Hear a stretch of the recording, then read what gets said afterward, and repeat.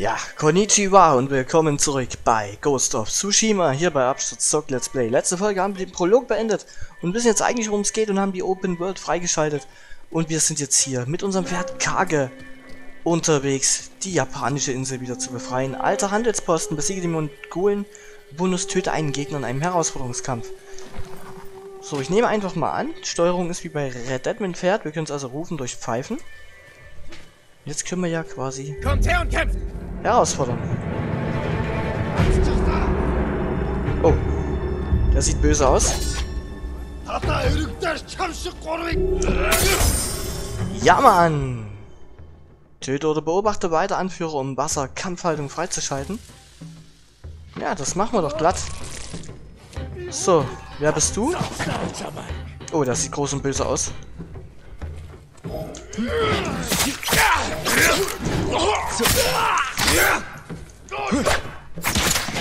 So. Oh, ein Bogenschütze.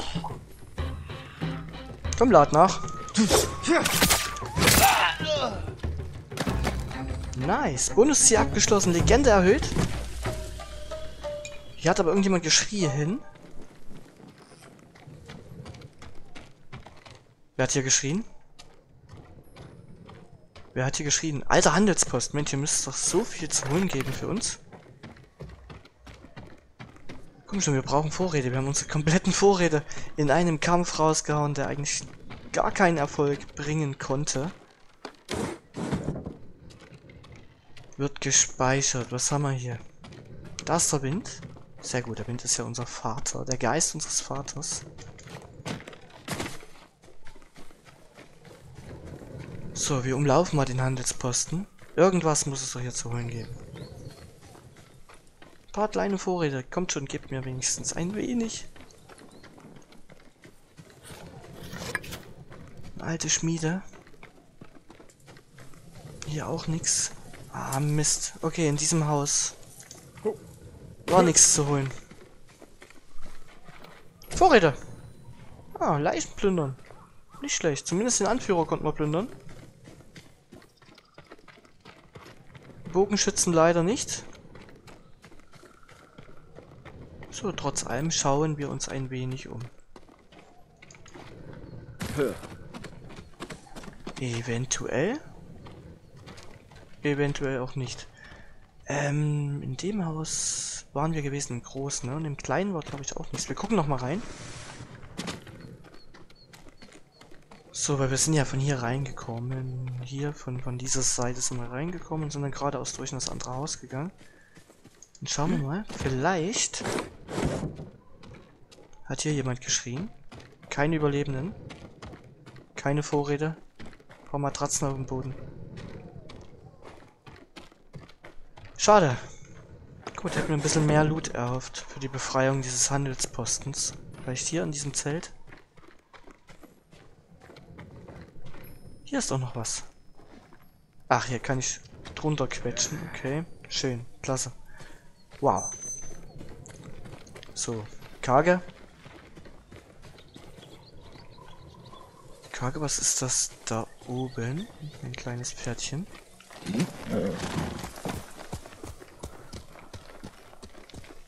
Altes Holzfällerlager? Oh, schaut mal, schaut mal, der Baum leuchtet auch. Das ist aber auch neu. Oh. Oh oh. Die Wildschweine sind nicht friedlich. Echt gehofft, dass die Wildschweine friedlich sind hier. Aber scheinbar sind sie ein bisschen sauer.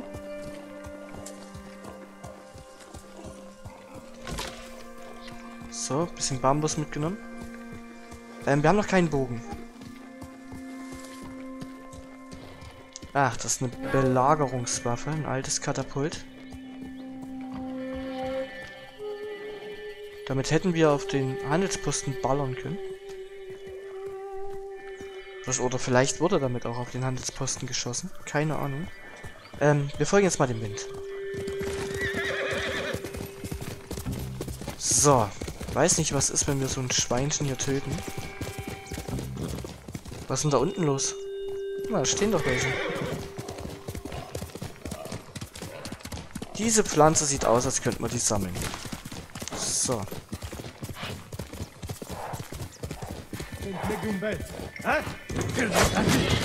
Boah, alter Schwede. Okay, voll reingereicht.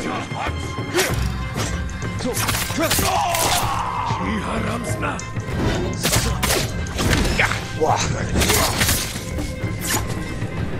Okay, wer bist du?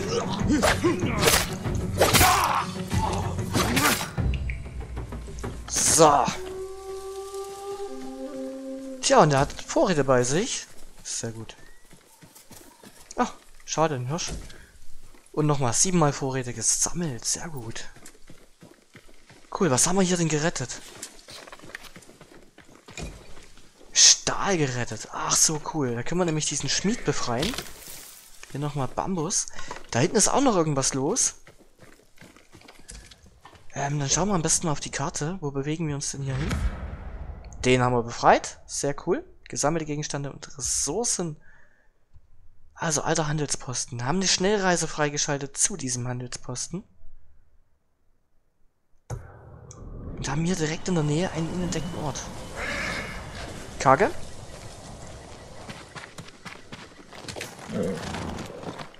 So. Okay. Dann zeig uns mal, wo es lang geht. Zu dieser kleinen Insel mitten im See. Ich bin nicht umsonst an diesem See angekommen. So, den Handelsposten. Hier ist also ein Schnellreisepunkt für unsere zukünftigen Reisen und Abenteuer. Alter Handelsposten. Ja. Und hier ist diese Insel. Und da, hier ist da irgendwas los. Da ist da irgendwas los. Bogenschützen. Die verstecken sich.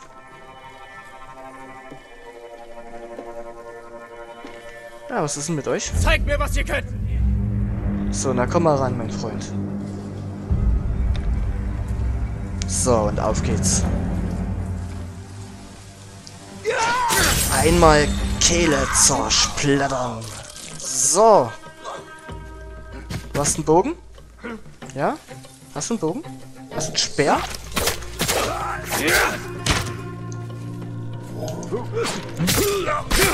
Okay, der hat ein bisschen mehr ausgehalten.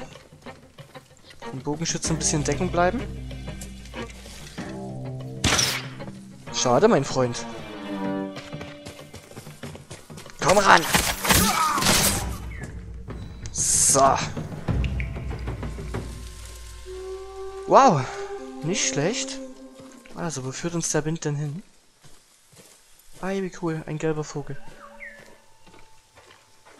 Hier ist doch irgendwas. Wir haben ein Boot. Können wir mit dem Boot fahren? Können wir zu der Insel fahren? Kann ich das ins Wasser schieben irgendwie? Nein?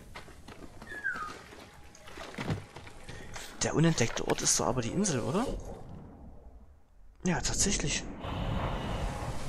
Wir können nicht mit diesem Fischerboot dahin fahren. Kann ich schwimmen?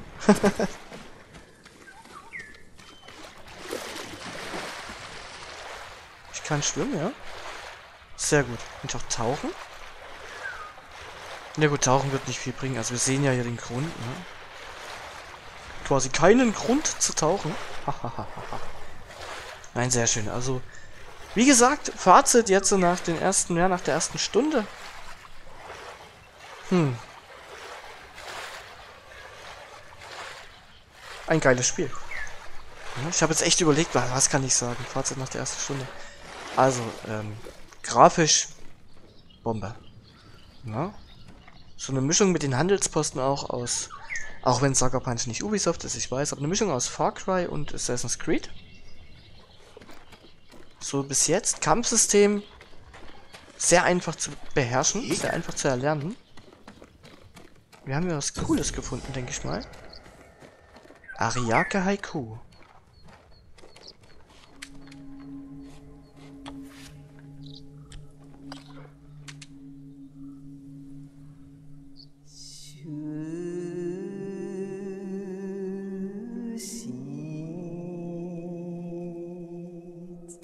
Zuflucht sinnieren.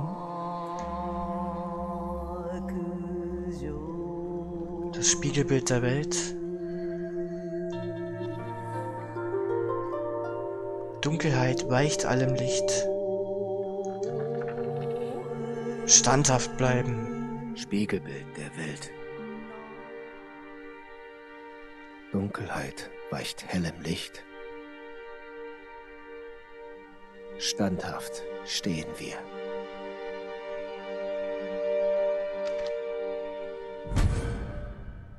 Stirnband der Zuflucht, Spiegelbild der Welt, Dunkelheit weicht hellem Licht, standhaft stehen wir. Tja, was haben wir denn hier bekommen? Okay, suche den Rüstungsschmied auf, um neue Verbesserungen zu kaufen. Angelegt, sehr cool.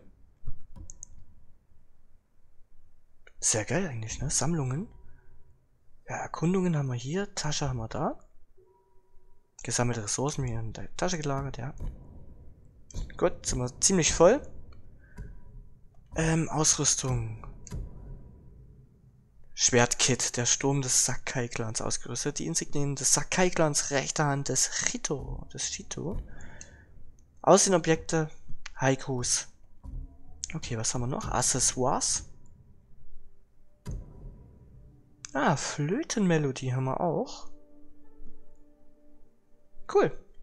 Und hier beim Sattel haben wir auch noch was. Sturmwind. Haben wir ausgerüstet. Kriegerkodex, eine Geschichte von Sensei Ishikawa. Das hören wir uns dann an, wenn wir soweit sind, wenn wir dort sind. Gut, Insel hätten wir jetzt erkundet. Dann können wir uns eigentlich hier nochmal eine Blume mitnehmen. Blumen pflücken muss sein, weil wir wissen nicht, wofür wir das Ganze brauchen. Zumindest so lange nicht, bis wir diesen Schmied befreit haben. Schauen wir mal kurz auf die Karte. Wo geht's denn jetzt hin? Also wir könnten jetzt den Schmied befreien. Oder zum goldenen Tempel. Ich würde sagen, wir gehen mal hier in den Kaschinewald. Und Wegmarkierung. So.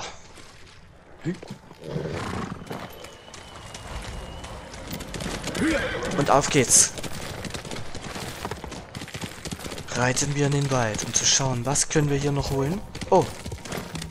Hi, Freunde. Stellt euch und kämpft! Gerade rechtzeitig noch herausgefordert, ehe wir da wieder reinsprinten. So. Zack. Das war's für dich.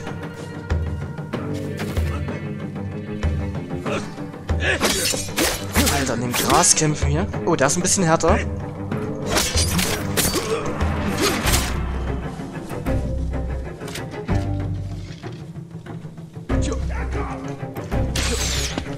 Okay. Rechtzeitig ausgewichen. Oh. Okay. Was mit dir? Was ist mit dir? Was ist mit dir? Oh. Verdammt, ich wollte ausweichen. Das gibt's nicht. Ich kann nicht ausweichen. Jetzt reicht's mir mit dem. Nee, komm. Kleine Flitzbieder.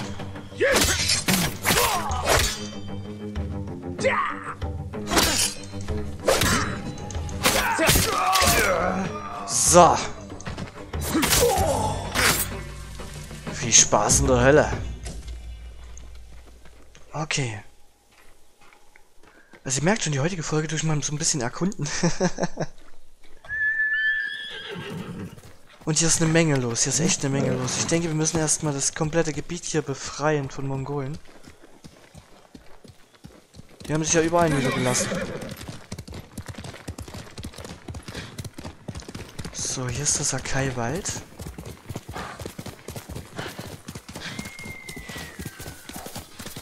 Oh, ich habe einen Pfiff gehört und der Pfiff bedeutet Mongolenbogenschützen.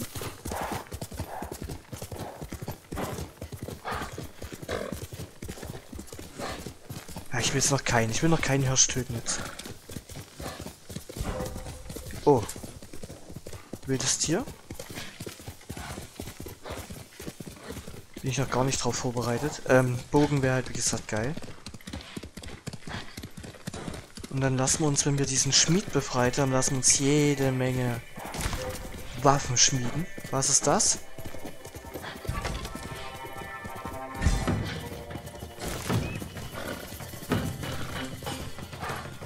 Okay, die laufen uns hinterher.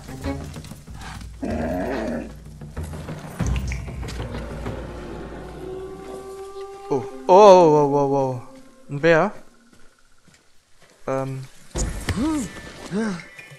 Bär ist nicht so gut. Bär ist nicht so gut. So, hier werden wir definitiv eine herausfordern.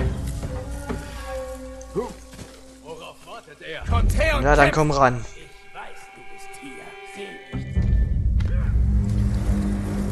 Und los. Zack. So, was mit dir hier?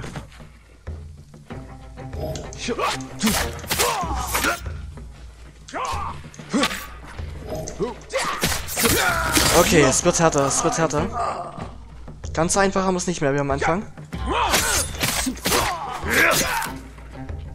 Okay.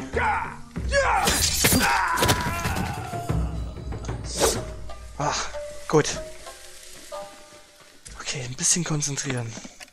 So, was haben wir hier Tolles? 27 mal Vorräte. Na, das hat sich doch gelohnt. Aber wir doch gar nicht so richtig wissen, was wir mit den Vorräten machen, außer uns heilen.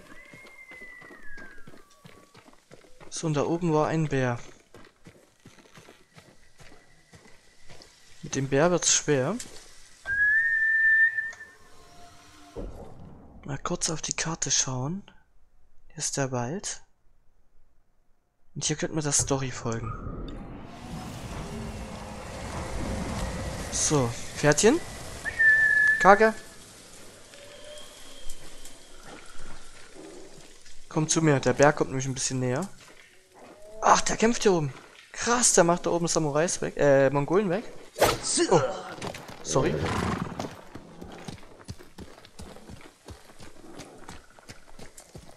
Also mit einem Bär legen wir uns, denke ich mal, noch nicht an. ich weiß nicht. Vielleicht wird man es auch schaffen, weiß nicht. Aber ich will das auch nicht wirklich ausprobieren jetzt. Froh, dass wir so halbwegs heil hier rausgekommen sind.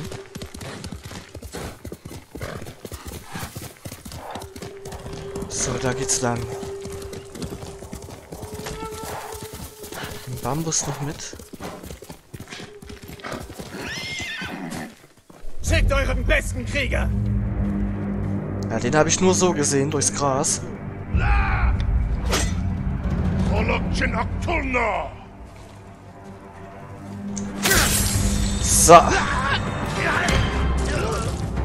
Kleiner Freund.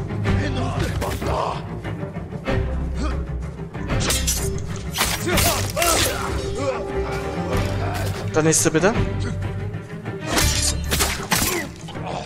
Der nächste bitte. Renn nicht weg.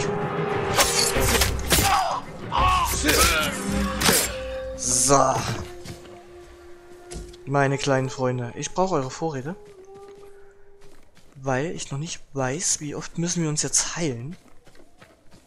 Bitte, helft mir! Was ist denn hier oben passiert? Ah, cool. Wem soll man helfen? Hier, die junge Frau befreien. Na, aber sowas von. Stillhalten. Ihr, ihr habt Komoda überlebt? Mein Herr, die Mongolen haben das Ogawa Dojo erobert. Ich trainierte früher dort. Kämpfte einen Sommer lang mit den jungen Samurai vom Nagao-Clan. Was, wenn die Mongolen unsere Kampftechniken erlernen? Dazu brauchen sie mehr als ein paar Wochen. Ich werde sie vorher aufhalten. So, neuen Ort freigeschaltet. Also ein Dojo müssen wir befreien. Karte aktualisiert. Schauen wir doch mal rein. Wo ist das Dojo? Da ist das Dojo. Befreie das Ogawa Dojo. Sehr gut. Machen wir, denke ich mal, nach der Hauptgeschichte. Ort aus einem Gespräch hinzugefügt. Schade, dass man hier oben nichts findet. Ich denke mal, später, wenn wir den Bogen haben, finden wir hier oben auch ab und zu mal ein paar Pfeile. Nur jetzt ist das Ganze noch nicht der Fall, denn... Ich bin frei. Ja, bist du. Gerne. Ähm, denn uns fehlt noch der Schmied. Und den Schmied müssen wir erstmal ausfindig machen, beziehungsweise retten. Hier ist Kage. So, Kage, bleibst mal noch dort? Oh, shit. Die haben mir ganz schön gewütet. So, in einem Fischerdorf, wenn ich das richtig gelesen habe. Ich möchte jetzt nicht zum Bären gehen, ne? Hier haben wir noch ein bisschen Bambus. Da unten, da unten sieht es doch gut aus. Lager der Überlebenden. Okay, müssen wir hier jemanden herausfordern eigentlich? Weiß noch nicht, werden wir gleich sehen.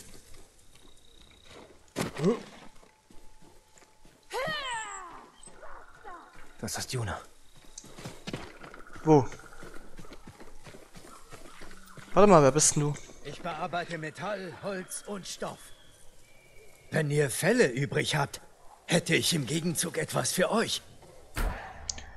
Äh, leider keine Fälle. Wir sehen uns wieder. Das ist ja geil. Okay, cool, hier können wir verkaufen. Bis zum nächsten Mal.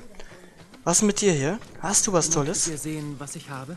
Na gerne doch. Fürst Sakai, ihr habt die Invasion überlebt? Ja. Ja. Haben wir uns schon mal getroffen? Nein, mein Herr. Doch ich sah euch in die Schlacht reiten. Bitte nehmt dieses Geschenk an. Es heißt, wenn ihr das tragt, führt euch eine Seele zu allem, was ihr sucht. Klingt, als hättet ihr dafür auch selbst Gebrauch. Nicht, wo Mongolen durchs Land streifen. Doch falls sie euch zu Blumen führt, bringt sie mir. Oder anderen Händlern. Wir können daraus Farben herstellen. Ich werde daran denken. Danke.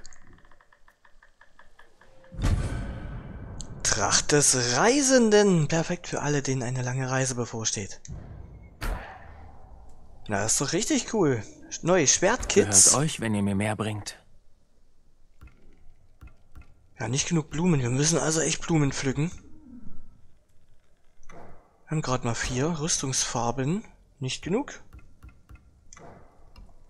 Und eine eigene Hütte können wir uns auch noch... Alter. Also, das Outfit für eine Hütte, ne? Noch mehr Rüstungsfarben. Ja, da fehlen uns Blumen tatsächlich.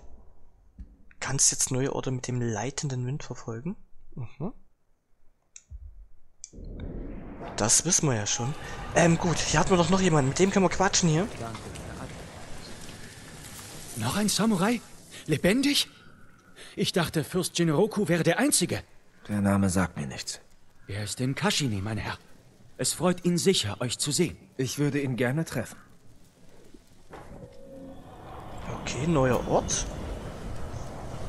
Dann schauen wir doch da mal rein. Da wäre der neue Ort. Die andere Seite der Ehre. Jemand erwähnte, einen lebenden Samurai in Kashine gesehen zu haben. Wenn es noch ein Samurai aus Kumo... Werden wir sehen. So, Yuna hat auch gerufen. Yuna müssen wir natürlich helfen, aber das machen wir in der nächsten Folge. Wir sind nämlich schon wieder über 20 Minuten. Also dran geblieben. Reingehauen, liebe Grüße. Euer Rob.